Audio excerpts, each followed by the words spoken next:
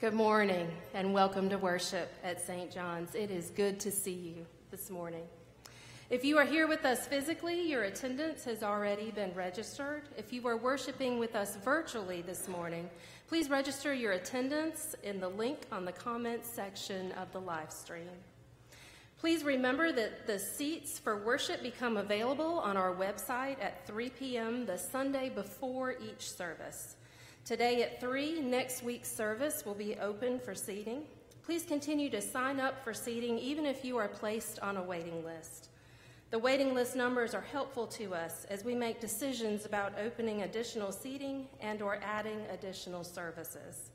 It may take a couple of weeks to work out the kinks, but please know that we want you to be here with us, and we will continue to make adjustments until we can accommodate those who are ready to come back safely.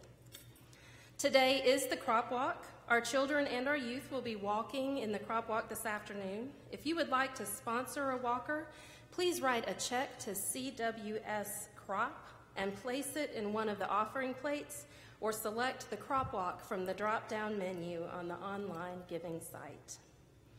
The Barbara Hardin Sunday School class is in the midst of their annual pecan sale. Representatives will be available after worship, or you may stop by the church office during the week to purchase your pecans. We are in the process of setting up cottage meetings with Pastor David. The purpose of the cottage meetings is to provide socially distant opportunities for the congregation to get to know David better and vice versa. Watch your email for further communication about cottage meetings taking place in the neighborhoods near you. This morning, we ask that you please remember in prayer Beverly Moon as she continues her cancer treatments, David Brashear as he continues to recover from surgery, Leela Jane Long, who is undergoing cancer treatment, George Clark, as he continues to recover from recent surgery, Meredith and Sam Epps as they prepare for the birth of their first child, and Jonathan Pitt as he's hospitalized and undergoing tests to determine the source of some unexplained pain. Please remember the family of Barbara Jeter, who passed away on October 19th. Let us continue our worship together.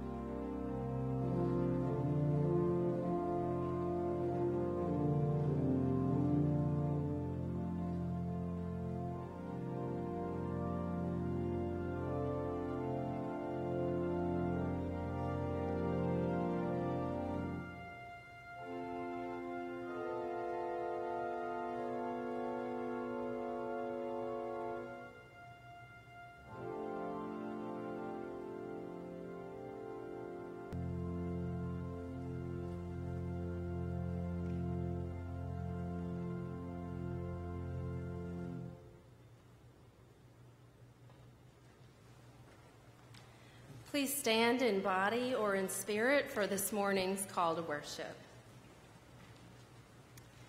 We celebrate the saints of God from yesterday and today.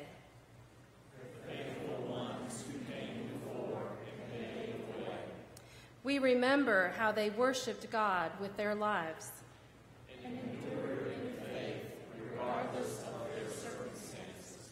Since we are surrounded by so great a cloud of witnesses, let us lay aside every weight and sin that clings to us. Let us run with perseverance the race that is set before us. Looking to Jesus as architect and perfecter of our faith. Open our hearts and minds to new realities in Christ. So we commit today to worship God with our own lives. And be counted as saints of hope, peace, joy, and love. You may be seated.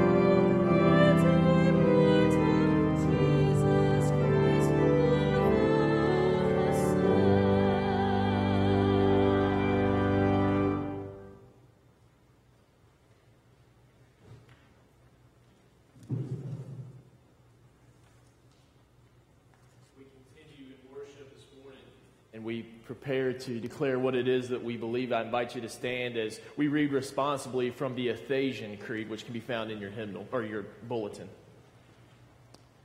Do you believe and trust in God the Father, source of all being and life, the one for whom we exist? We believe and trust in Him. Do you believe and trust in God the Son? who took on human nature, died for us, and rose again. We believe and trust in him. Do you believe and trust in God, the Holy Spirit, who gives life to the people of God and makes Christ known in the world? We believe and trust in him. This is the faith of the church. This is our faith. We believe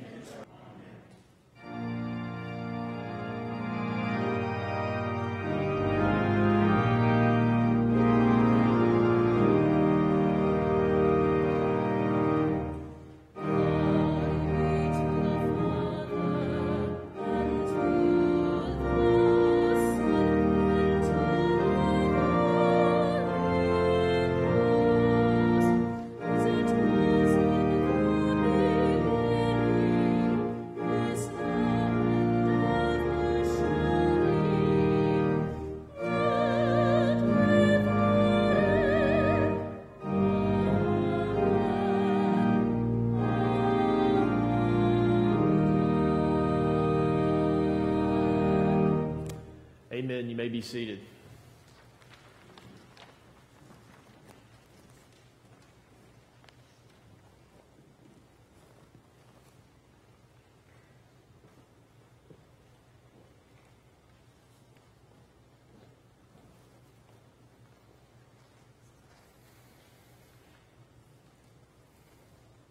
We invite Scott Hope to come forward along with his parents at this time.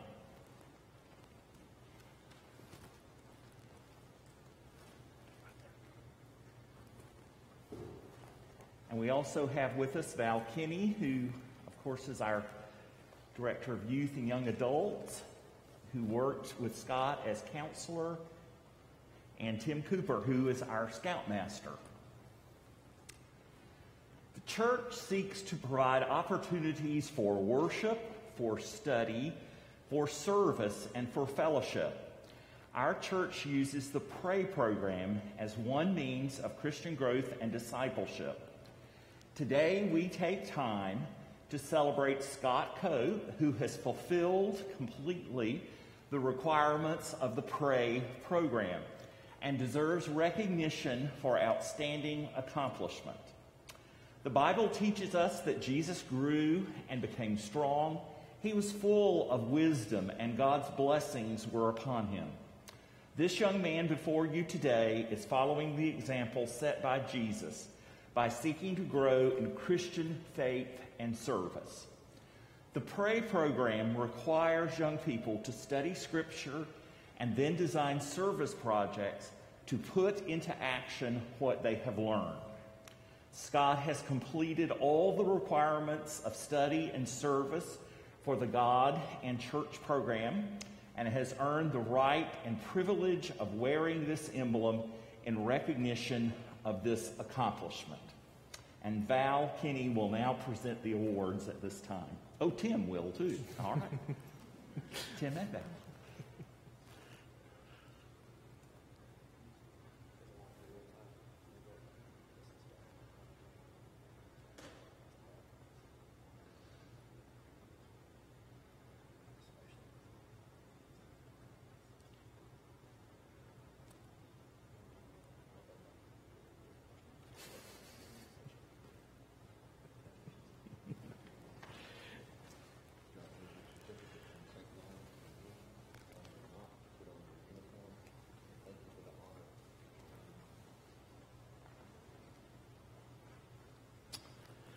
Scott has received, received the Pray Award, which features a four colored cross.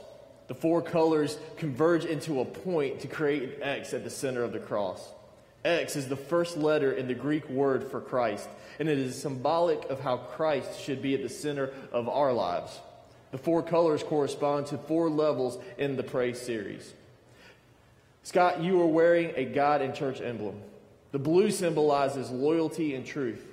May you embody with Christ. In church, I invite you to join in me together in prayer. Uh, you should have an insert in your bulletins to follow along. Let us pray. Lord, your Son has called all of us into the adventures of learning and serving. Today we celebrate Scott who has answered that call in a special way. We thank you for Scott and for this moment of joyous celebration. Continue to challenge all of us to grow in Christian service that your kingdom may become a reality in and through our lives. Amen.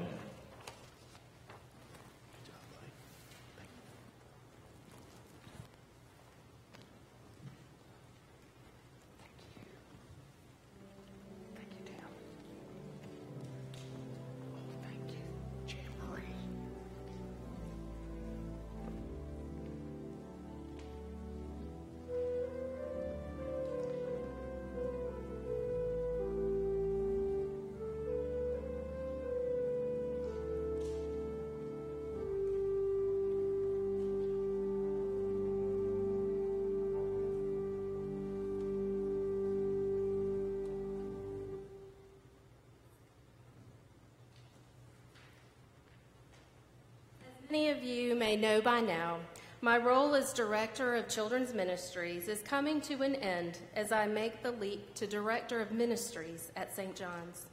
Ironically, this is happening 19 and a half years to the day from my first day here as Director of Children's Ministries. Leading the children's ministry has been one of the great joys of my life. Raising my children in the church and through our children's ministry is a gift that I will always be grateful for. And two, it is my hope that you have also found the children's ministry to be vital to your children's spiritual development.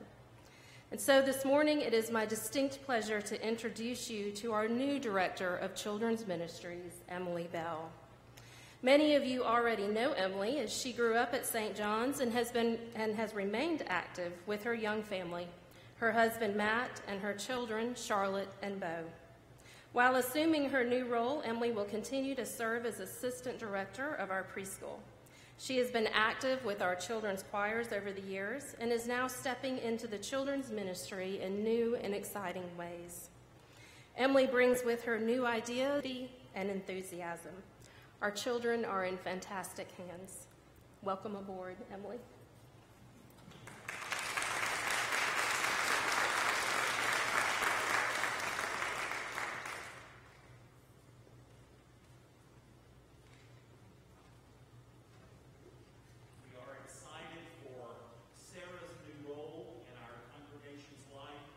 We welcome Emily so much into this new uh, calling and responsibility. We look forward to what both of them shall contribute to our church staff. Today is All Saints Day, one of the most sacred in the life of the church. And we come to remember those who we have lost and who now serve faithfully in the church triumphant since last All Saints Day. In Revelation, John wrote, Blessed are the dead who die in the Lord. Henceforth, says the Spirit, that they may rest from their labors, for their deeds follow them.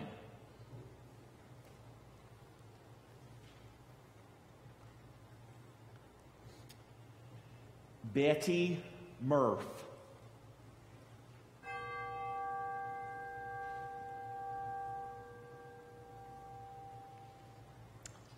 Elizabeth Owen.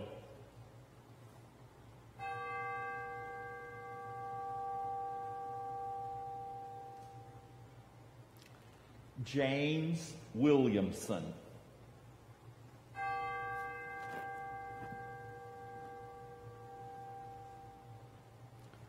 John Busey.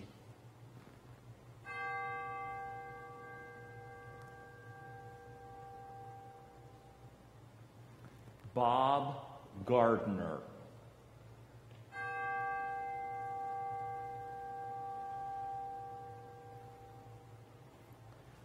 Margie Pryor.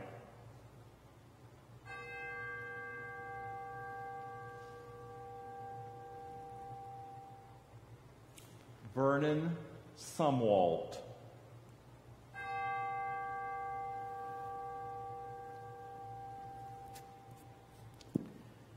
Mary Frances Downing.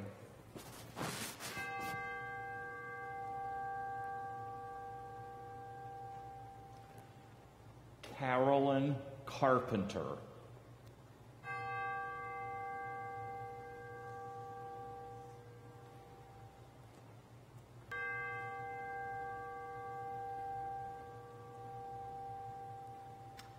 Michael Williams.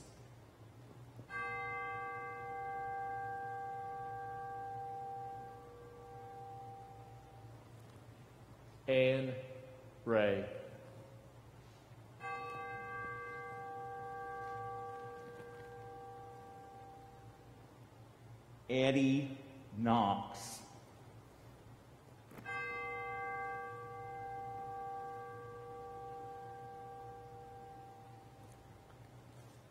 Linda LeGrand.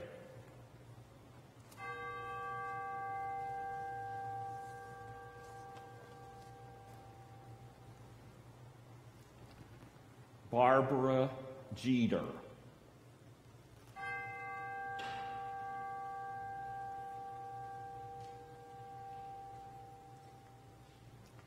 Let us pray. Eternal God, make us this day to remember the unseen cloud of witnesses who compass us about. Those who in every age and generation witness to their faith in life and in death.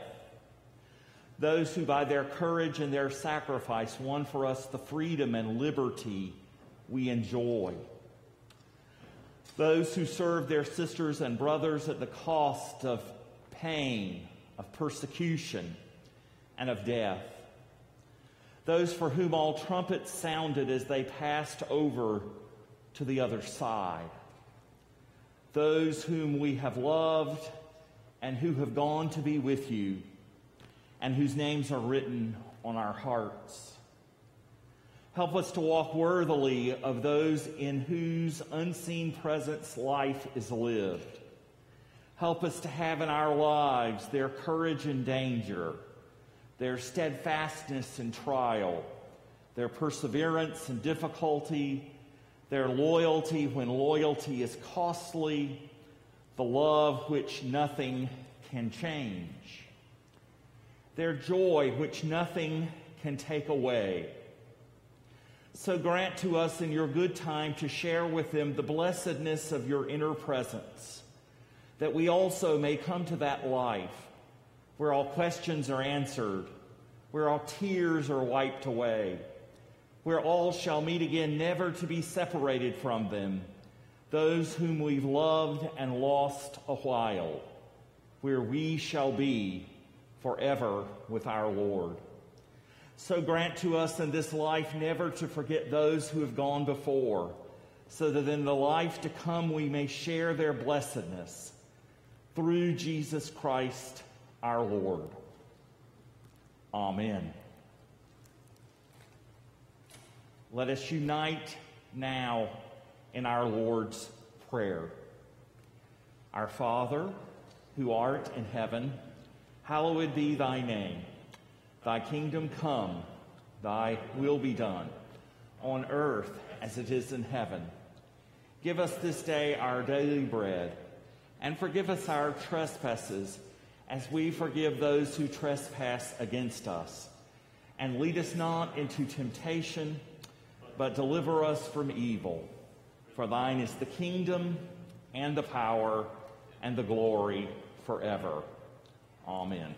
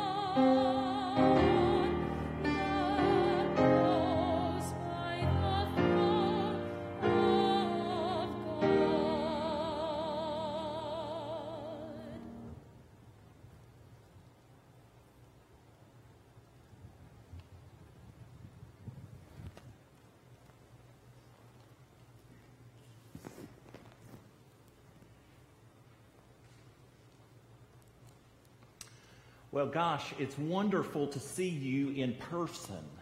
And uh, I, I, could ask you to do, uh, uh at the Duke football games, they're not allowing folks in the stand. One whole section of animals they had. So I, I, could make you wave so I can know it's really a person and not a stand up thing. I, I, see a hand or two. So uh, thank you.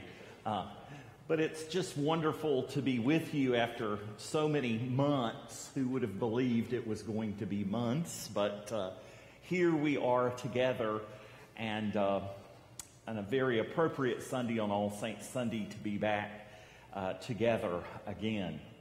Sarah mentioned the cottage meetings. I hope that you will be part of one of those. Uh, we have two offerings this week. Um, and uh, you will receive a, a, email invitation to those. Uh, but as you see the announcements about others, you are welcome to come and to be part of those if that fits your schedule better than the one uh, targeted for your particular area uh, of, of the community. I want you, wanted you also to know that Donna is not an imagination or a fiction either. She's back there. You want to wave so everyone can see you? So uh, uh, she is a newly retired person, and now that I'm feeling better and our daughter's wedding is over, she really gets to retire. So um, she's uh, happy for that status, I know, as most people are who have it, I understand. So. Our lesson today, that is the text for the sermon, continues from Revelation in chapter 21, verses 1 through 6a. Then I saw a new heaven and a new earth. For the first heaven and the first earth had passed away, and the sea was no more. And I saw the holy city, the new Jerusalem coming down out of heaven, prepared as a bride adorned for her husband. And I heard a loud voice from the throne saying, See, the home of God is among mortals. He will dwell with them. They will be his peoples, and God himself will be with them. He will wipe every tear from their eyes. Death will be no more. Mourning and crying and pain. Things have passed away. And the one who was seated on the throne said, See, I am making all things new. Also, he said, Write this, for these words are trustworthy and true. Then he said to me, It is done. I am the Alpha and the Omega, the beginning and the end. To the thirsty, I will give water as a gift from the spring of the water of life. The Word of God for the people of God. Thanks be to God.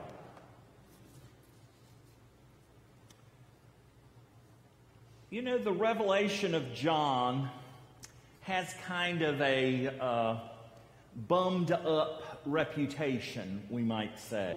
History in biblical studies. It's using, complex, and filled with strong imagery. My mentor in ministry even reminded me that its inclusion in the official canon the authorized books of the Bible was rather iffy, and he was not very fond of it. And our lesson for all saints is no different. The selection comes near the end of the revelation.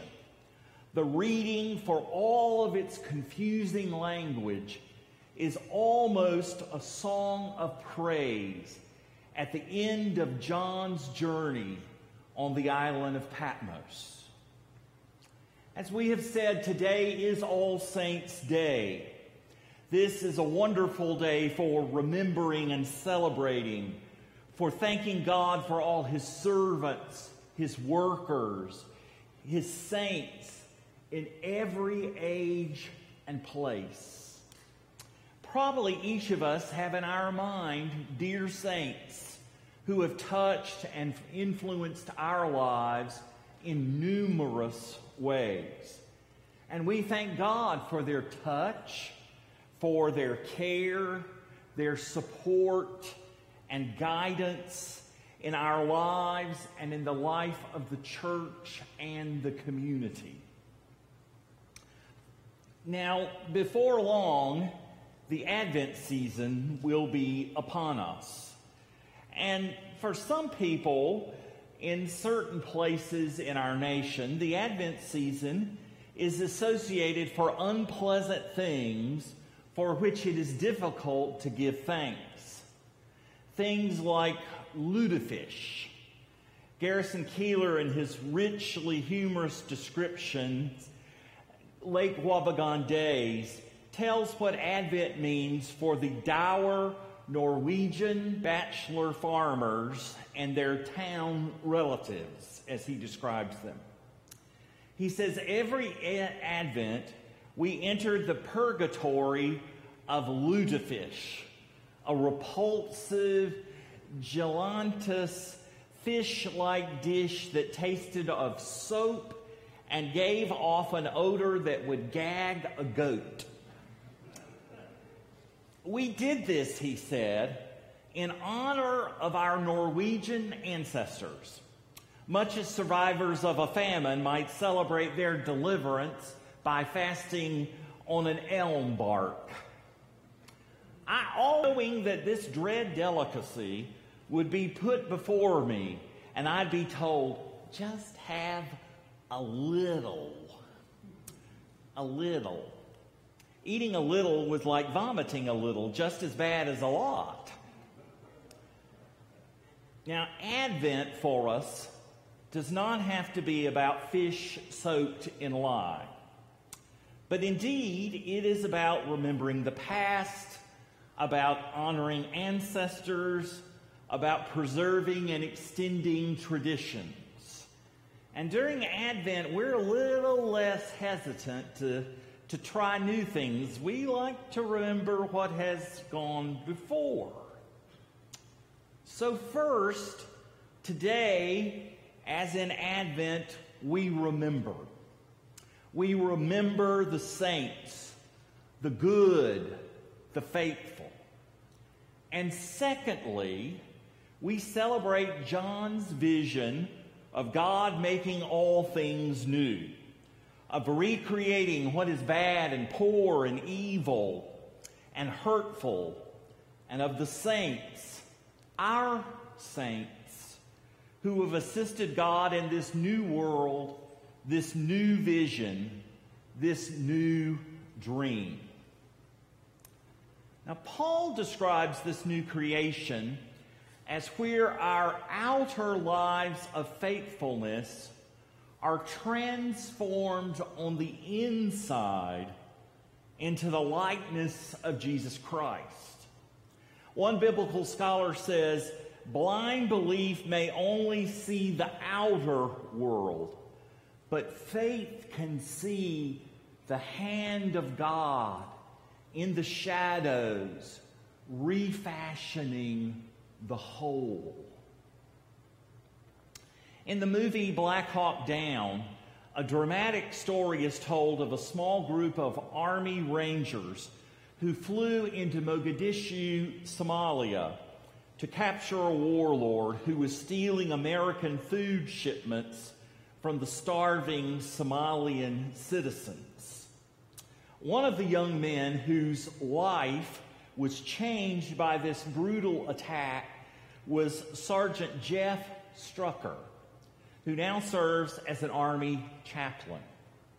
Struecker exclaim, claims that as bullets whizzed past his head and grenades exploded all around him, God called him into the ministry.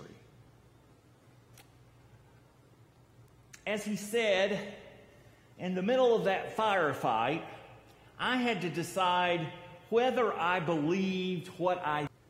And when I finally answered that question, my faith became so strong, it gave me the strength to fight the rest of the night. One scholar explained that God really requires nothing of humanity but an emptiness, an openness to be filled, a thirst to be quenched from the spring of living water. Jesus Christ Himself. A third theme expressed in this conclusion of John's revelation is that God will wipe away our tears. Suffering will end. The old order of things is gone. Death will be no more. Hope will reign supreme, even to the point that God will wipe every tear every tear from our eyes. There's an old story told of how drought threatened the crop in a village of Crete. The priest instructed his flock there isn't anything that will save us except a special litany for rain. So go to your homes, fast during the week, trust in God, and come on Sunday for the litany of rain. The villagers heard him, fasted during the week, went to church on Sunday morning, but as soon as the priest saw them, he was furious. He said, Go away. I will not do the litany. You do not trust in God. But, Father, they protested. We fasted and we trust. Trust, he said. Then where are your umbrellas?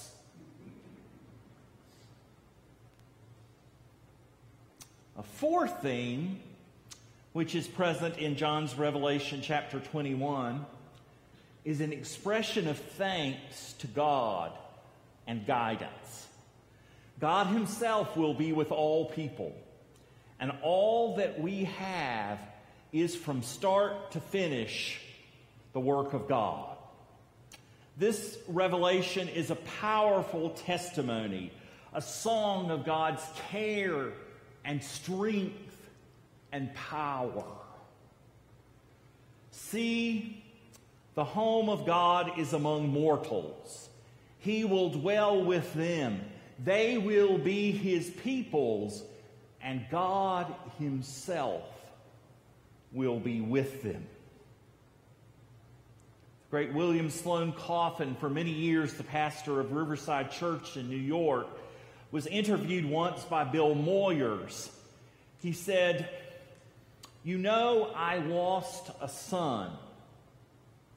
And Dr. Coffin continued, And people will say, when you die, Bill, Alex will come forth and bring you through the pearly gates. Well, that's a nice thought, and I welcome it, but I don't really need to believe that. All I have to know is that God, God will be there.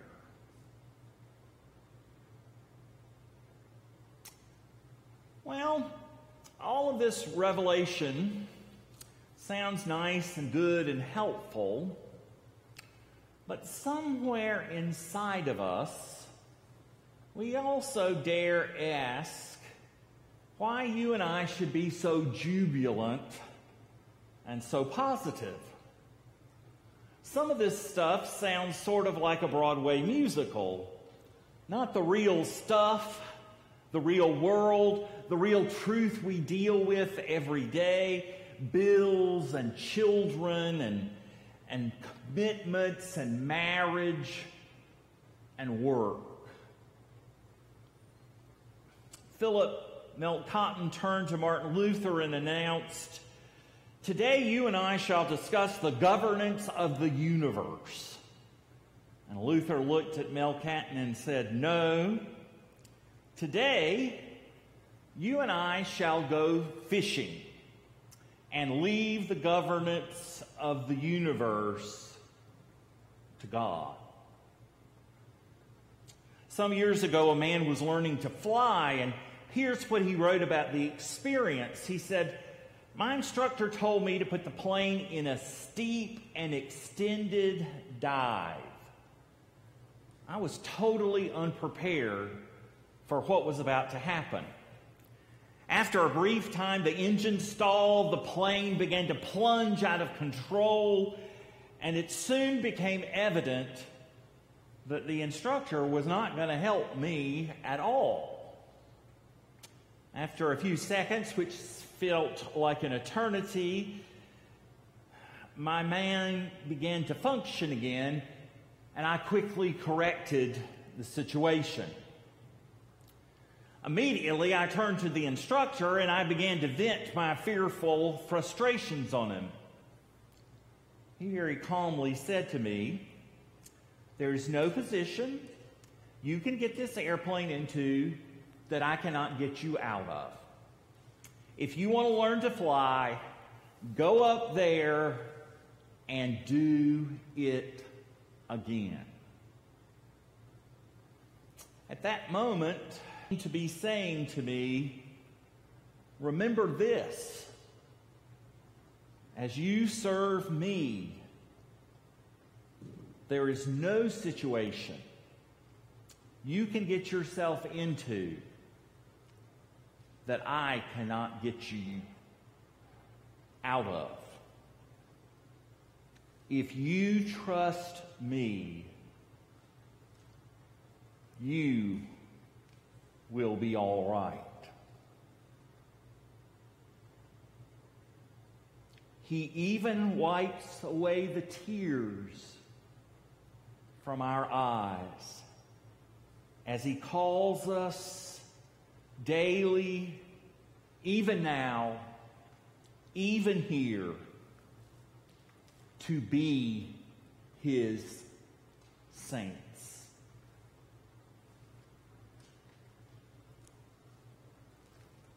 Now we come to the time in our worship when we turn our attention to the act of giving of our tithes and offerings by way of ourselves and resources. You can give electronically.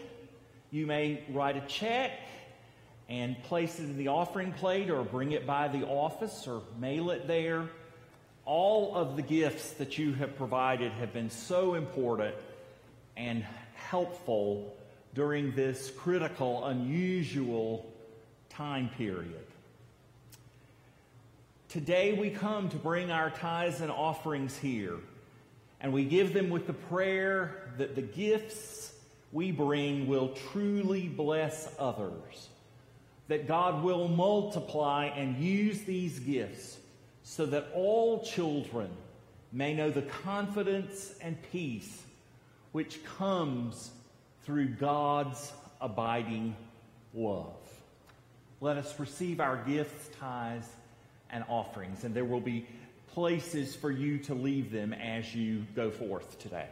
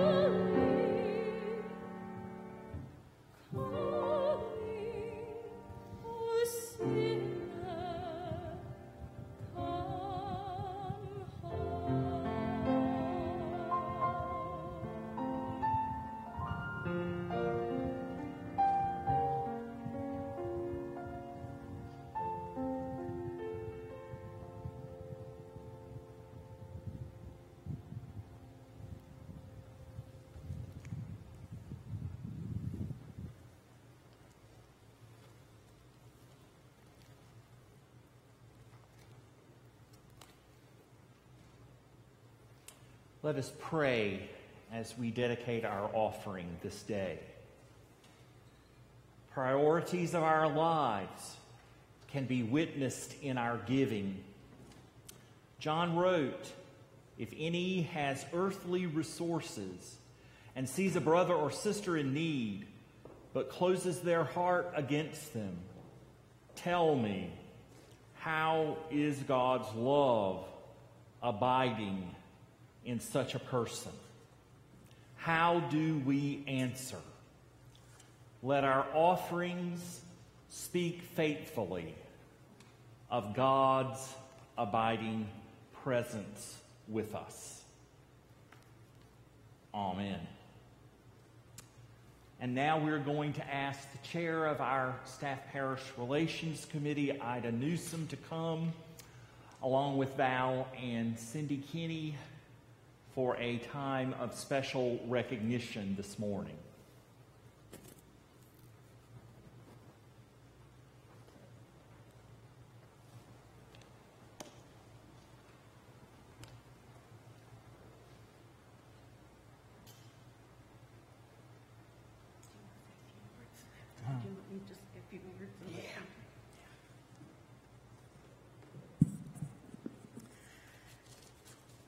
We're sending Val and Cindy off this morning with great love and respect and with lots of lots of love from those of us here at St. John's.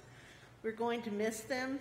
Val, we thank you and Cindy both for your years of service here in St. John's and what you've meant to all of us here. And we wish you well as you go on this next step in your journey. We know God has a calling for you there, and we know you'll be hearing it soon. And so we send you off. You will always be a member of this congregation. You'll always be a part of this church family, and we will miss you. We have a little gift for you. And Cindy, we have a bouquet of flowers for you.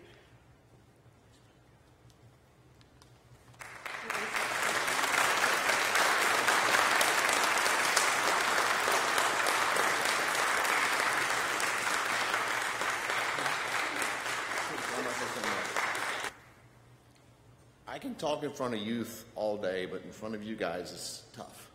Um, I was not prepared to say anything, but I just want to say thank you.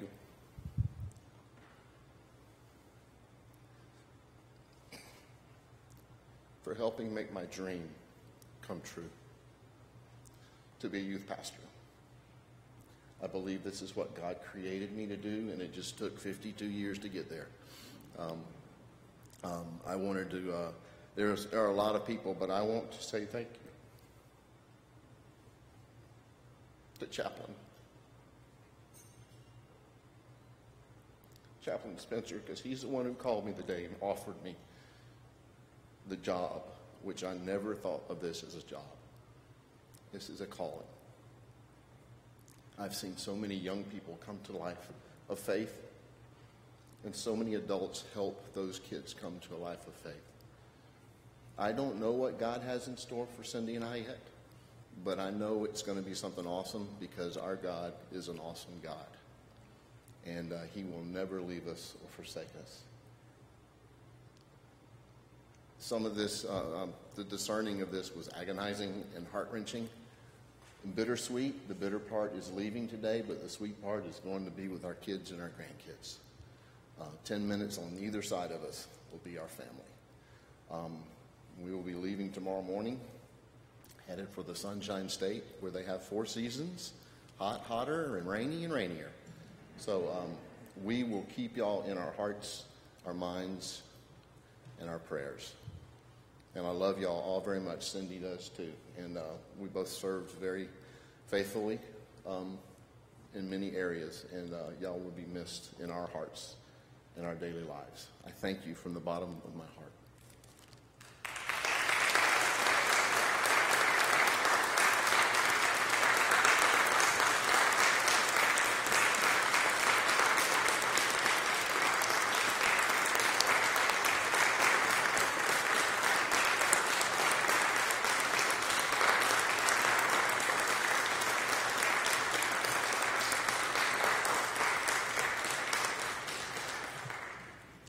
Certainly want to thank Val and Cindy. Val fills in many gaps in places in our church staff and, and church administration and ministry. And we thank both of them so much and pray God's blessings upon them. Our closing hymn, which you're invited to remain standing for, is the hymn of this day for all the saints.